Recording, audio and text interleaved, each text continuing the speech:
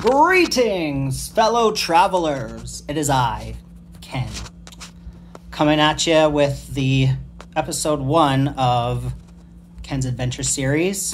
So, in case you didn't know, I'm off to Rankin Inlet in uh, Nunavut.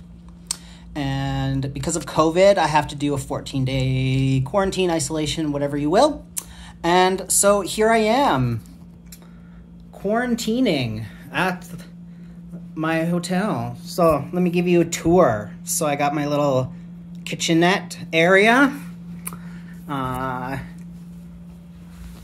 big green mug, making a resurrection, making a comeback with the big green mug, a little fridge, and a bean grinder, and my AeroPress to use with the big green mug, and water, or yeah, my water bottle.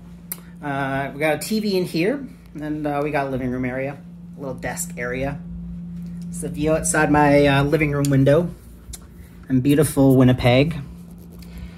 You know, this rooftop, it's just a sight to behold, I tell you.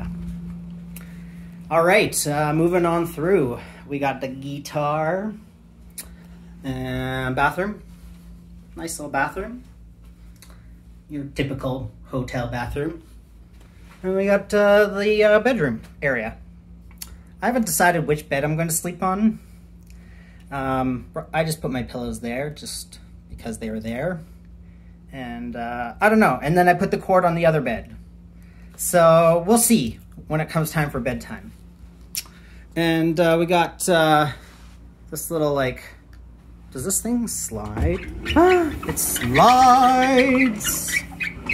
Cool. There a window? Oh, oh, blank wall and mirror. Okay, so this tripped me out. So this was like this, right? And uh, I was like looking in the mirror and then I like came over here and I was like, why don't I see my reflection? But there was no actually no mirror there. So that's kind of cool. Like if you're here with like a group of people, you know, kids can sleep there and everybody can hang out here. You know, just saying, you want to come visit. Although you'll have to pay for your quarantine. Um, the government of Nunavut was kind enough to pay for mine. So yeah, there's uh, another TV in here. Beds looking pretty comfy. So, uh, yeah. I'll uh, keep you posted on uh, what's happening with uh, Ken's Adventure Series, Nunavut Edition. Or we'll just say Quarantine Edition. Um, yeah. Catch you later. Bye.